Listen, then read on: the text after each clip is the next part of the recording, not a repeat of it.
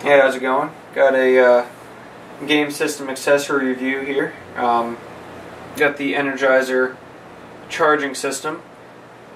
Picked this up for just about, uh, I think it was right at 30 bucks. Um, you could probably get a little bit cheaper online. Um, nice little unit. Comes with a nice uh, stand. Also includes two rechargeable battery packs. Um, Great little unit. It takes advantage of the factory Xbox plug, so you don't have any accessory um, dongles or plugins that you have to adapt to it. Um, very nice unit. Batteries work the same as the um, Xbox branded or Microsoft branded battery packs, and this will work with the uh, Xbox battery packs. Actually, just plugs right in, clips in. Has a nice little LED um, charging indicator, which is nice as well. Um, red when it's not charged, turns green when it's ready to go. Seems to have an overcharge um, thing on it as well, so it doesn't just keep charging the battery, which shortens the life. Um, also, a cool little add-on for anyone that still has the old retro wireless uh, mics.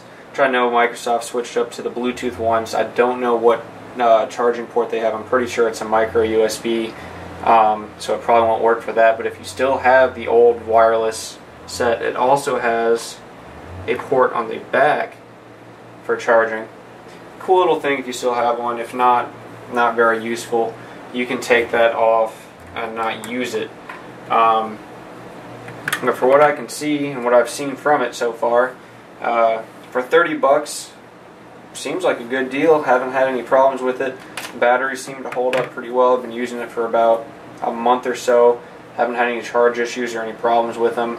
Um, I mean, 30 bucks, you're getting two batteries, your charging station, all that. You'd be paying more than that just for the Xbox uh, quick charge thing, and you're only getting one battery. Um, and you get a nice little stand for your controllers, which, like I said, holds them quite nicely. It's a nice little piece. I'd probably, I'd probably recommend it. Um, not a big waste of money there, and uh, yeah, that's about it for the uh, Energizer charging system. And see you next time.